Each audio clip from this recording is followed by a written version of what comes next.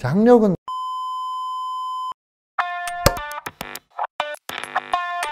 안녕하세요. 아, 안녕하세요. 유럽 여행을 너무 가고 싶어가지고 우와. 자세가 이렇게 변하고 집중력이 분산된 듯한 제 학력은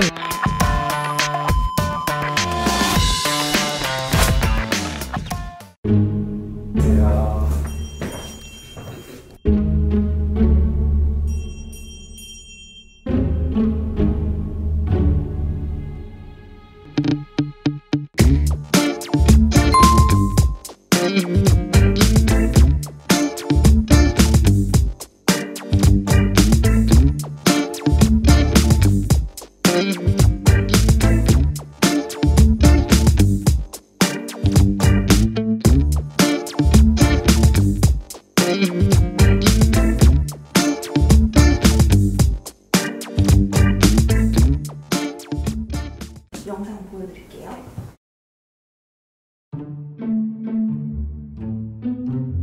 안녕하세요. 아, 안녕하세요. 네, 저는 김민재라고 합니다. 아, 저는 32살이고요. 지금 노량진에 살고 있어요. 제 학력은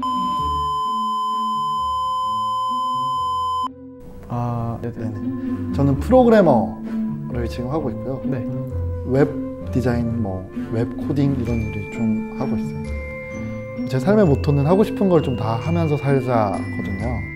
약간 그런 마인드여서 그래서 돌이켜 보면 정말 하고 싶은 걸 다 하면서 제가 살았던 것 같아요. 뭐 구체적으로 어떤 걸 하셨나요? 어, 저는 여행 되게 좋아해서 네. 제가 아르, 아르바이트에서 번 돈으로 여행 다니고 뭐 가까이 있는 일본부터 뭐 대만 20대 초반에는 유럽 여행을 좀 가고 싶어가지고 제가 아르바이트를 엄청 많이 했거든요 공사장 노가다부터 편의점 알바 택배 상하차 학원 알바 고깃집 서빙 뭐 그런 것들 뭐 학원에서는 애들 가리키고 이런 거.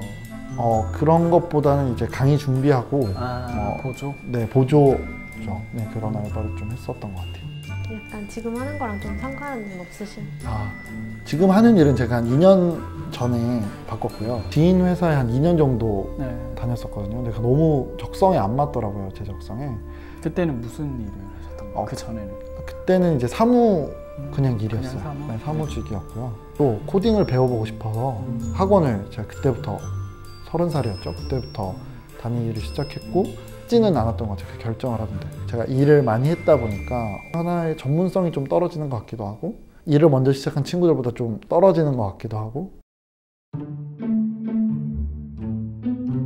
안녕하세요. 안녕하세요. 네, 저는 김민재라고 합니다. 제 학력은 저는 지금 프로그래머로 일을 하고 있어요.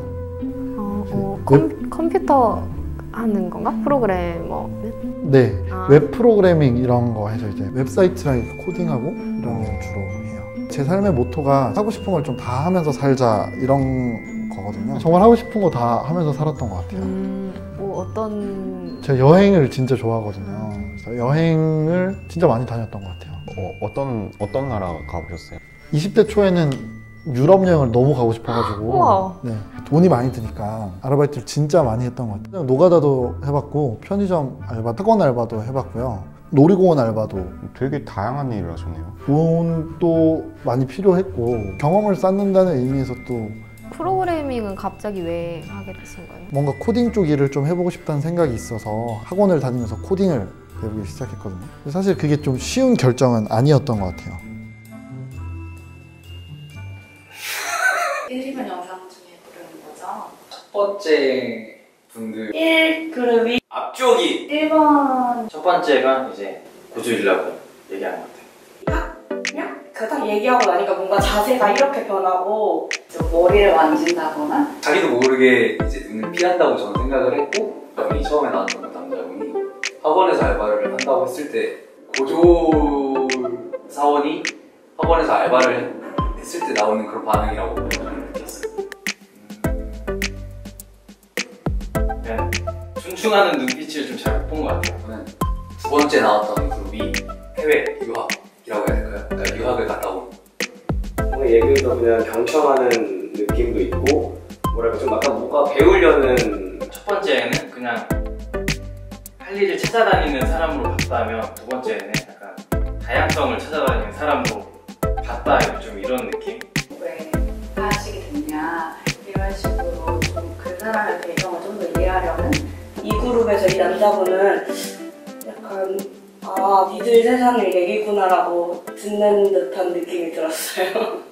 정답 영상 보여드릴게요.